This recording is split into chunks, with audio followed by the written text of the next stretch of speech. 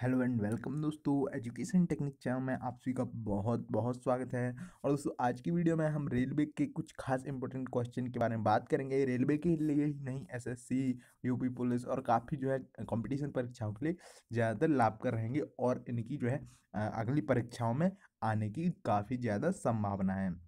तो इस वीडियो को देखते रहिए, लास्ट तक हम इन क्वेश्चन सीरीज़ का जो है देखेंगे और इनके आंसर के साथ आपको बताते चलेंगे। तो सबसे पहले क्वेश्चन से डिस्कस करते हैं। तो यहाँ पे देखिए, पहला क्वेश्चन है हमारा कि गांधी से हुए पूना समझौता पर किसने हस्ताक्षर दिए थे? यानी किसने हस्ताक्षर किए? तो जैसा कि आपको पता है गांधी जी और पूना समझौता जो है, डॉक्टर अंबेडकर जी के साथ हुआ था। तो इस पर हस्ताक्षर जो है अंबेडकर जी ने किया था। जो ये समझौता हुआ था, ये सांप्रदायिक चुनावों को लेकर हुआ था।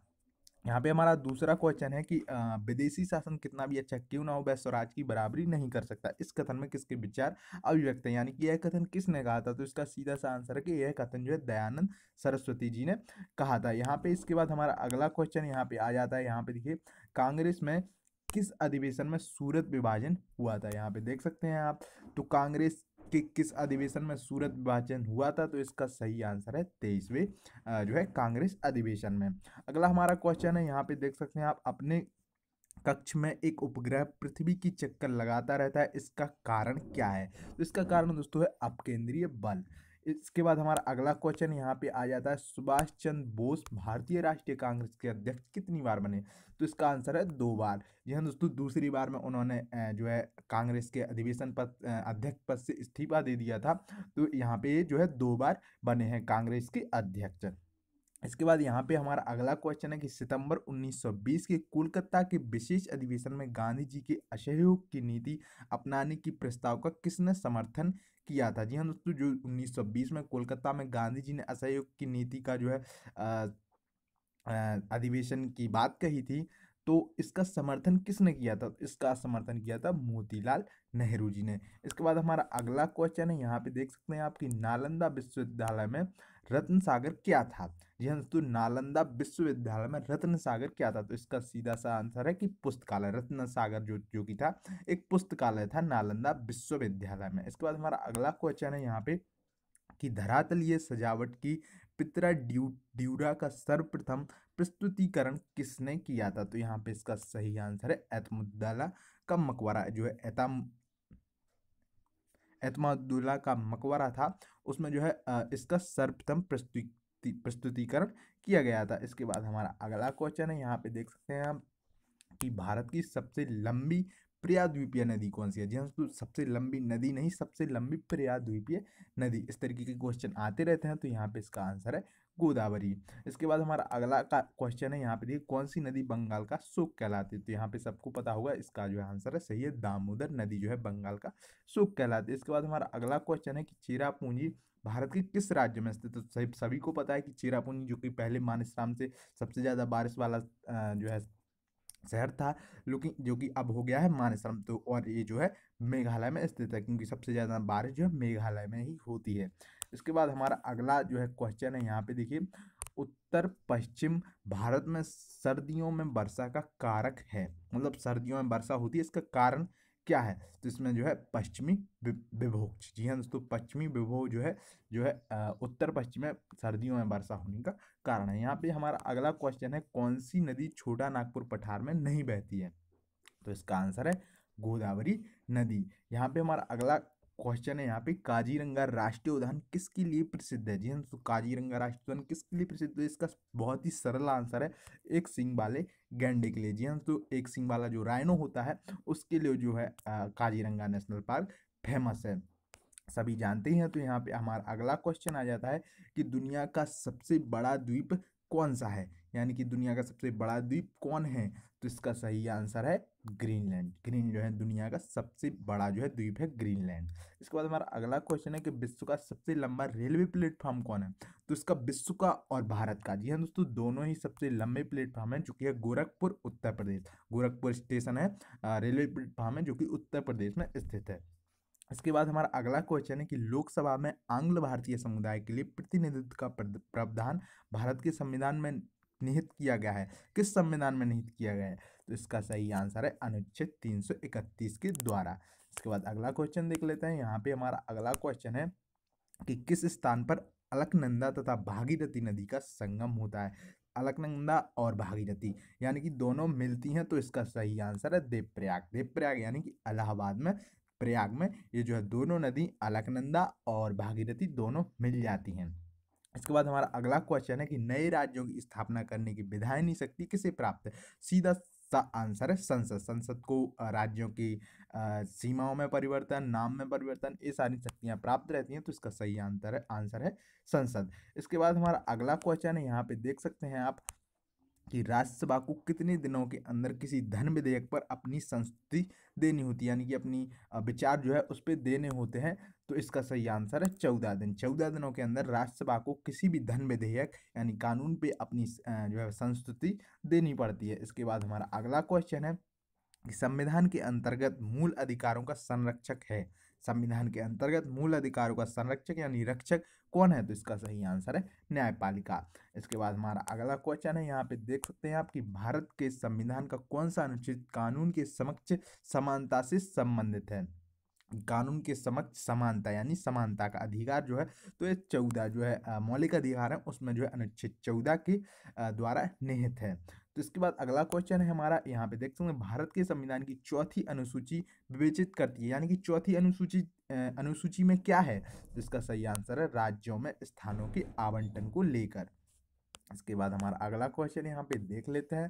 तो अगला क्वेश्चन है, भारत के संविधान के अंतर्गत किसको राज्यों की सीमाओं को परिवर्तित करने की शक्ति प्राप्त है? जैसा हमने अभी बताया था कि संसद को नामों में परिवर्तन और सीमाओं में परिवर्तन की शक्ति प्राप्त है। तो इसका सही आंसर हो जाएगा संसद। अगला क्वेश्चन यहाँ पे आप देख सकते हैं कि लोकसभा समिति की रिपोर्ट प्रस्तुत की जाती है। कहाँ पे? लोकसभा में या राज्यसभा में? तो इसका सही आंसर है लोकसभा में। जो लोकसभा में लोक लेखा की समिति की रिपोर्ट प्रस्तुत की जाती है। इसके बाद हमारा अगला क्वेश्चन है, यहाँ पे देख सकते हैं आप कि अनुच्छेद 108 के अंतर्गत लोकसभा और राज्यसभा की संयुक्त बैठक आहूत की जाती है। तो इसके बाद यहाँ पे उत्तर देख लेते हैं तो इसका सही उत्तर है, राष्ट्रपति के द्वारा, राष्ट्रपति के द्वारा लोकसभा और राज्यसभा की जो बैठक, वो प्रस्तुत की जाती है। इसके बाद अगला क्वेश्चन है, यहाँ पे देख सकते हैं आप, राष्ट्रीय उद्यमता एवं लघु व्यवसाय विकास संस्थान स्थित है।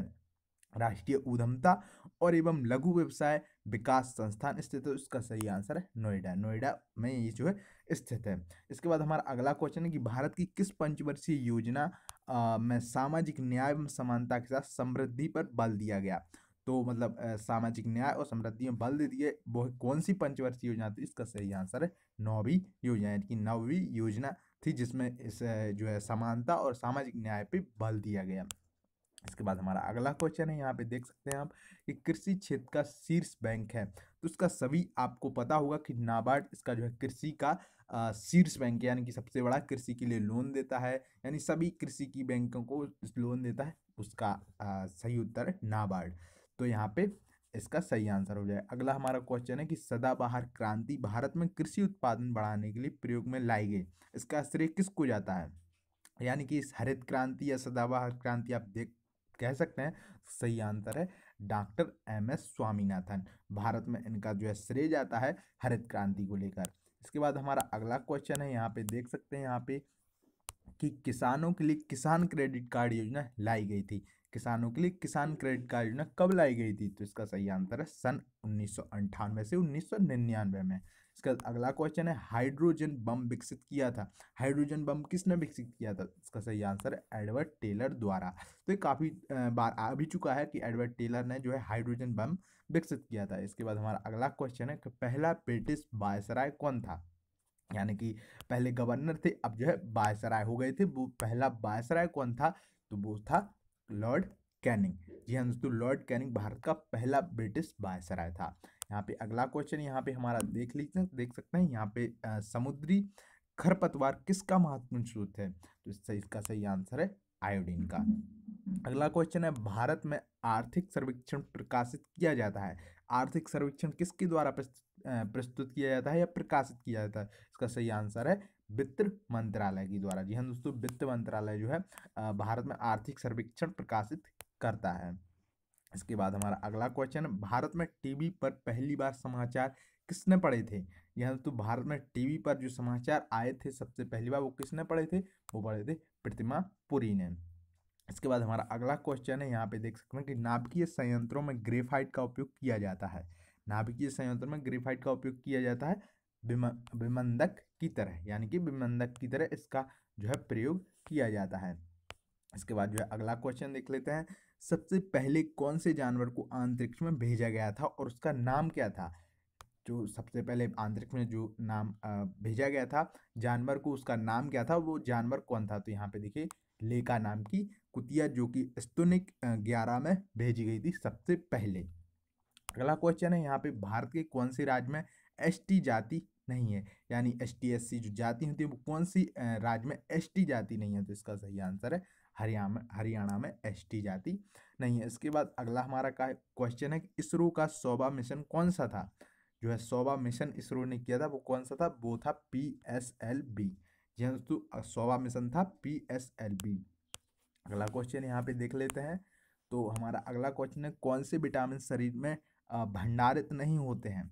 कौन से विटामिन शरीर में भंडारित नहीं होते हैं? तो विटामिन बी व विटामिन सी, यानी कि विटामिन बी, विटामिन सी एक तरह से इकट्ठे नहीं होते हैं भंडारित नहीं होते शरीर में। तो विटामिन बी व सी आपका सही आंसर होगा। इसके बाद यहाँ पे अगला क्वेश्चन देख लेते हैं, रेडियम की खोज किसने की थी? रेडियम की आपको पता ही हुआ तो रेडियम की खोज की थी रॉबर्ट पियरे और मैडम क्यूरी ने। काफ़ी बार क्वेश्चन आ चुका है तो इसे आप याद कर लें कि रॉबर्ट पियरे और मैडम क्यूरी ने रेडियम की खोज की थी। इसके बाद अगला क्वेश्चन सुभाष चंद्र बोस को किसने सबसे पहले नेताजी कहकर संबोधित किया था? तो दोस्तों, आपको पता ही है, जब सुभाष चंद्र बोस जर्मनी गए थे तो जर्मनी में एडोल्फ हिटलर हिटलर ने जो है नेताजी सबसे पहले सुभाष चंद्र को कहा था। तो यानी कि नेताजी सबसे पहले किसने कहा? एडोल्फ हिटलर ने। अगला क्वेश्चन यहाँ पे हम देख लेते हैं। तो यहाँ पे देखिए, अगला क्वेश्चन हमारा है, बहमनी साम्राज्य का अंतिम सम्राट कौन था? बहमनी साम्राज्य, सम्राट का अंतिम सम्राट कौन था? तो इसका सही आंसर है कलीम उल्लाह शाह। जो है बहमनी साम्राज्य का अंतिम सम्राट था। इसके बाद अगला क्वेश्चन है हमारा, भोपाल गैस कांड कब हुआ था? आपको इसकी जो है, भोपाल गैस कांड की आपको तिथि याद करना होगी क्योंकि ज़्यादातर पूछे जाने वाला क्वेश्चन है, जिसका सही आंसर है दो और तीन दिसंबर 1984 की आधी रात को। जी हाँ तो दो और तीन दिसंबर की उन्नीस सौ चौरासी की आधी रात को। इसमें कौन सी गैस छोड़ गई थी? तो इसमें इसमें आपको याद रखना है कि मिथाइल आइसोसाइनेट इसमें जो है गैस लीक हुई थी। अगला क्वेश्चन है, यहाँ पे हमारा पहली भारतीय जिसने विश्व सुंदरी का खिताब अपने नाम किया। जिसने तो वर्ल्ड मिस वर्ल्ड जो बनी थी, पहली भारतीय वो कौन थी? रीता फारिया। तो इसका रीता फारिया सही आंसर है। अगला क्वेश्चन यहाँ पे देख लेते हैं कि किस भारतीय जेल को नेशनल हेरिटेज साइट घोषित किया गया है? किस भारतीय जेल को नेशनल हेरिटेज साइट घोषित किया है? तो इसके सही आंसर है अंडमान जेल ये तो अंडमान जेल आपको पता ही है कि काला पानी की सज़ा जो मिलती थी, वो अंडमान जेल में ही मिलती है, जिसका सही नाम है सेल्यूकस जेल, जो अंडमान में स्थित है। तो इसे जो है भारतीय जो हेरिटेज नेशनल साइट घोषित कर दिया गया अंडमान जेल को तो इसका सही आंसर अगला क्वेश्चन यहाँ पे देख लेते हैं। जीवन बीमा को राष्ट्रीय कब किया गया? जीवन बीमा को राष्ट्रीय कब किया? सही सही आंसर है। उन्नीस सौ छप्पन में जीवन बीमा को राष्ट्रीय किया गया, यानी कि सरकार ने इसे अपना नाम दे दिया, यानी ये सरकारी बन गई। अगला क्वेश्चन यहाँ पे हमारा देख सकते हैं कि एशिया पैसिफिक इकोनॉमिक्स कॉरपोरेशन की स्थापना कब की गई? एशिया पैसिफिक इकोनॉमिक्स की स्थापना कब की गई? अठारह सौ नवासी में। इसके बाद अगला क्वेश्चन है हमारा, ओजोन दिवस किस दिन मनाया जाता है? तो ओजोन दिवस 16 सितंबर को मनाया जाता है। ओजोन दिवस जो है 16 सितंबर को मनाया जाता है। अगला क्वेश्चन आपको याद रखना है कि महाराष्ट्र की पश्चिमी घाट किस नाम से जाना था? महाराष्ट्र का जो पश्चिमी घाट है, वो किस नाम से जाना सर सहाद्री यहाँ तो सहाद्री नाम से जो है महाराष्ट्र का पश्चिमी घाट जाना जाता है। अगला क्वेश्चन यहाँ पे है, अरुणाचल प्रदेश की राजधानी का क्या नाम है? सबको पता होगा, भारत की सभी राजधानी का आपको नाम याद रख, करना होगा। भारत कितने राज्य हैं, उनकी सभी राज्यों की राजधानी आपको याद कर लेनी है। तो इसका सही आंसर ईटानगर, अरुणाचल प्रदेश की जो राजधानी है, उसका नाम है ईटानगर। अगला क्वेश्चन है यहाँ पे एस की फुल फॉर्म क्या है? STD की फुल फॉर्म क्या है? तो सब्सक्राइबर ट्रंक डायलिंग इसकी एस की फुल फॉर्म है। अगला क्वेश्चन यहाँ पे है मेरी कॉम का संबंध किस खेल से है? मैरी कॉम का संबंध किस खेल से है? तो इसमें ज़्यादातर जानते हैं लोग मैरी कॉम को तो इनका आंसर है मैरी कॉम का संबंध बॉक्सिंग से है। तो काफ़ी पॉपुलर है तो आपको पता होना चाहिए इनका संबंध जो है, बॉक्सिंग से है। अगला क्वेश्चन है, दुनिया में सबसे ज़्यादा बोली जाने वाली भाषा कौन सी है? दुनिया में सबसे ज़्यादा बोली जाने वाली भाषा है मैंडरिन। जी हाँ दोस्तों, मैंडरिन सबसे ज़्यादा बोले वाली बोले जाने वाली भाषा है। अगला क्वेश्चन है, भारत का सबसे पहला आधार विलेज कौन सा है? आधार विलेज कौन सा है? तो इसका सही आंसर है तेवल्ली। जो है तेमल्ली जो है भारत का सबसे पहला आधार विलेज है। अगला क्वेश्चन है, थॉमस कप किस खेल से संबंधित है? थॉमस कप जो दिया जाता है, वो किस खेल से संबंधित है? तो वो है बैडमिंटन से। अगला क्वेश्चन देख लेते हैं। यहाँ पे हमारा अगला क्वेश्चन है तो जो कि है कार्बन के ठोस रूप को किस नाम से जाना जाता है? कार्बन का जो ठोस रूप है, उसे किस नाम से जाना जाता है? उसे जाना जाता है ड्राई आइस के नाम से, जो कि ड्राई आइस ड्राई हो जाता है तो आप याद रख सकते हैं कि जो कार्बन का ठोस हो गया तो वो हो गया ड्राई आइस तो ड्राई आइस के नाम से आप जाना जाता है कार्बन के ठोस रूप को। अगला क्वेश्चन है, भारत का सबसे बड़ा सैन्य अवार्ड कौन सा है? भारत का सबसे जो है बड़ा सैन्य अवार्ड यानी कि सबसे बड़ा जो है सैन्य यानी अवार्ड है परमवीर चक्र, यानी कि वीरता के लिए दिया जाने वाला सबसे बड़ा अवार्ड है परमवीर चक्र। तो इसका सही आंसर है परमवीर चक्र। अगला क्वेश्चन है हमारा, शाहनामा किसके द्वारा लिखा गया है? शाहनामा किसके द्वारा लिखा गया है? तो इसका सही आंसर है फिरदौसी। फिरदौसी ने जो है शाहनामा को लिखा है। अगला क्वेश्चन यहाँ पे देख लेते हैं। तो अगला क्वेश्चन है, कौन सा मिनरल प्लास्टर ऑफ़ पेरिस बनाने के लिए प्रयोग किया जाता है। कौन सा मिनरल प्लास्टर ऑफ़ पेरिस बनाने के लिए प्रयोग किया जाता है? इसका सही आंसर जिप्सन। जिप्सन जो है प्लास्टर ऑफ़ पेरिस बनाने के लिए प्रयोग किया जाता है। अगला क्वेश्चन है, एक अश्व शक्ति में कितने बाट होते हैं? एक अश्व शक्ति में कितने बाट होते हैं? सात सौ छियालीस। सात सौ छियालीस बाट होते हैं। एक अश्व शक्ति इस एक अश्वशक्ति में। अगला क्वेश्चन हमारा है, दुनिया में काफ़ी का सबसे ज़्यादा उत्पादन करने वाला देश कौन सा है? कॉफ़ी यानी आप जानते हैं, कॉफ़ी आप पीते होंगे तो इसका सही आंसर है, ब्राज़ील में सबसे ज़्यादा कॉफ़ी उत्पादित की जाती है। सबसे ज़्यादा जो है उत्पादन कॉफ़ी का कहाँ होता है? ब्राज़ील में। इसका सही आंसर है, ब्राज़ील। अगला क्वेश्चन यहाँ पे देख सकते हैं, रवांडा की राजधानी का नाम क्या है? रवांडा। रवांडा की राजधानी है किगाली। रवांडा की राजधानी है किगाली। आप याद रखिए गाइस ये जो है हंड्रेड परसेंट लगभग आएगा अगली क्वेश्चन में तो आप इसे याद रख लीजिए, आपको मोस्ट पॉपुलर जो देश है जो अभी भारत में चल रहे हैं करंट अफेयर के नज़रिए से तो उन्हें आपको उन देश की राजधानी और करेंसी याद रख लेनी चाहिए। तो रवांडा की राजधानी किगाली अगला क्वेश्चन है बी सी रॉय अवार्ड क्षेत्र में दिया गया। बी सी रॉय अवार्ड क्षेत्र में दिया कौन से क्षेत्र में दिया जाता है? तो मेडिसन क्षेत्र में यह अवार्ड दिया जाता है। अगला क्वेश्चन है हमारा यहाँ पे, देख सकते हैं कि भारत में स्थापित सबसे पहला बैंक कौन सा था? भारत में जो बैंक खोला गया था, वो सबसे पहला कौन सा था? तो वो था बैंक ऑफ़ हिंदुस्तान अगला क्वेश्चन है रोइंग सब किस खेल से संबंधित है? रोइंग सब किस खेल से संबंधित है? तो वो है नौकायन से। नौकायन से रोइंग खेल रोइंग सब जो है खेल संबंधित है। रोइंग सब जो है नौकायन से संबंधित है। अगला क्वेश्चन है बर्लिन फ़िल्म फिल्मोत्सव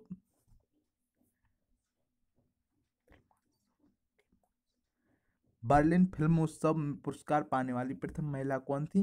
तो इसका सही आंसर है मधुर जाफरी। मधुर जाफरी पहली बर्लिन फ़िल्म उत्सव में पुरस्कार पाने वाली महिला थी। अगला क्वेश्चन यहाँ पे देख लेते हैं। भारत के प्रथम राष्ट्रपति कौन थे? तो भारत के प्रथम राष्ट्रपति आपको सबको पता ही होगा कि राजेंद्र प्रसाद थे और भारत के प्रथम प्रधानमंत्री कौन थे? तो इसका सही आंसर है पंडित जवाहरलाल नेहरू। तो दोस्तों, ये थे आज के क्वेश्चन उम्मीद है आपको पसंद आए होंगे।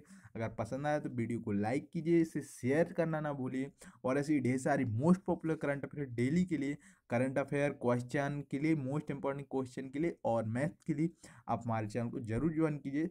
तब तक लिए फ्रेंड नमस्कार। थैंक्स फॉर वॉचिंग इस वीडियो को देखने के लिए आप सभी का बहुत बहुत धन्यवाद।